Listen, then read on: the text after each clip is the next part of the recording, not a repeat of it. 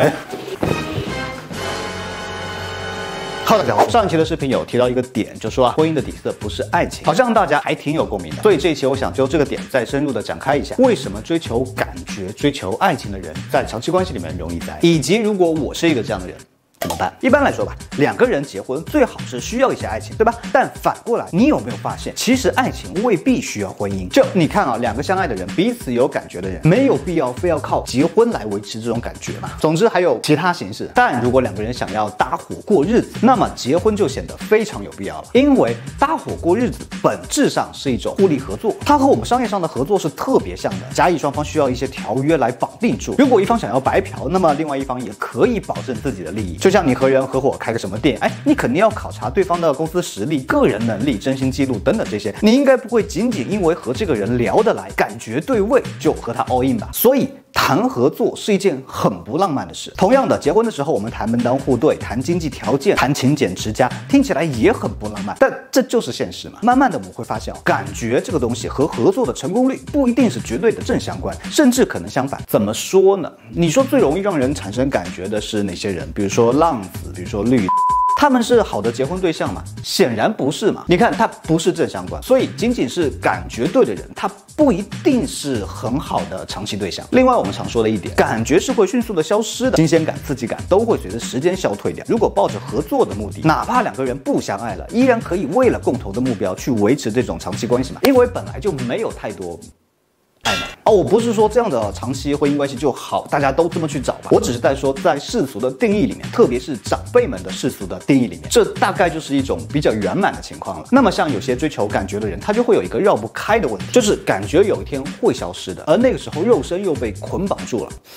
OK，所以总体来说，结婚阶段相对现实一点的人，奔着合作去的人，会比只看感觉对不对的人更容易长久的稳定。而天天想着找灵魂伴侣、找真爱和激情的人，即使是找到了，也更难去维持长期的关系。可能有人会问，哎，我就是这样的人呢，怎么办呢？其实啊，当你在一个规则里面不适应的时候，原则上有两种办法：要么改变自己适应规则，要么改变规则来适应自己。先说改变自己适应规则，简单的说，我们可以去降低一些对于感觉的追求，把。观念转过来，现实一点，尝试去认同结婚嘛，就是搭伙过日子，是一种合作。合作有合作的好处嘛，就像是一个人他不爱吃柠檬，因为太酸了，后来发现呀还挺有营养啊，变得爱吃了。现实的世俗的关系就像是这个柠檬，有的人不喜欢是因为看到了它的不好，当他真的看到了并且理解了它的好之后，真的。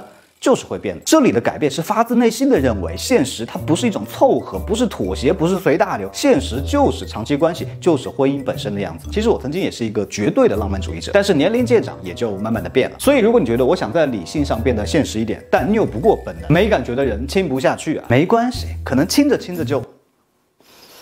说什么？哦，我是想说，这种观念的改变不一定是要在我们开始一段关系之前，也可能是两个人因为感觉开始，慢慢的观念在相处中都改变了。总而言之，如果你能够认同这一点，改变自己的观念，那么当然也挺好的。如果你觉得说，那我不想改变自己，我改变规则行不行？当然也可以。我们的规则就是在合适的年纪找一个合适的人，携手一生嘛。既然一个人他追求的是感觉，是激情，是纯粹的浪漫，而同一个人不能够一直给他这些，那很自然的我们就得到另外一个思路。既然感觉。在不同的人身上，那么我就去问不同的人要嘛。是的，这就是萧亚轩的快乐，而且不是说非得是萧亚轩才能拥有这种快乐。只要社交条件允许的话，大部分人都可以这样做。当然，我希望大家先不要带着有色眼光来看待这件事情，也先不急着做道德评判，因为它确实也是解决问题的一种思路吧。事实上，我看到一些离了婚的女生会更倾向于这么做，其实很好理解啊。很多离了婚的人看到了婚姻的阴暗面之后，主观上就可能不太想再结婚了，但同时又是需要异性的嘛，所以。在在心态上更容易接受这种像是接力一样不停换对象的方式。我认为只有一个问题，就是在这个无休止的过程中，你会发现一次又一次的投入，再失去，再投入，再失去。这是在有限的时间里面玩无限的游戏。无限的游戏就像是网络游戏一样，永远没有尽头。在刚开始的时候，当然还挺好玩的，但是越到后面越容易空虚，产生一种无意义感，好像这场游戏永远不会胜利，也不会结束。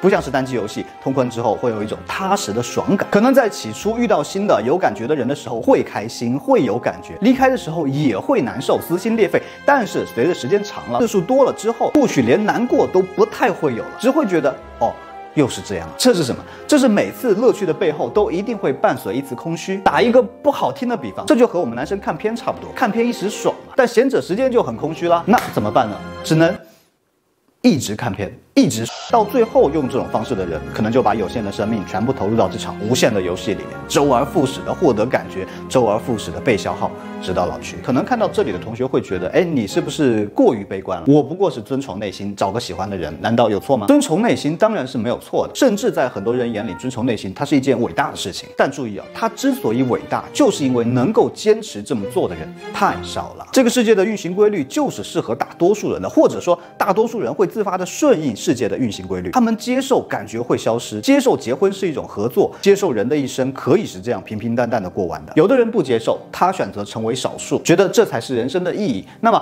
这条路注定会更难一些。我们可以融入大多数人，也可以一意孤行，这没有对错之分。我认为我们这个时代最好的部分就在于每个人都有了一定选择的权利，只不过与此同时，我们需要有承担我们选择的后果的能力。这个事实是很残酷的，但至少它对于我们每个人来说都是公平的，不是只有说你。会有这个烦恼，大家都一样了。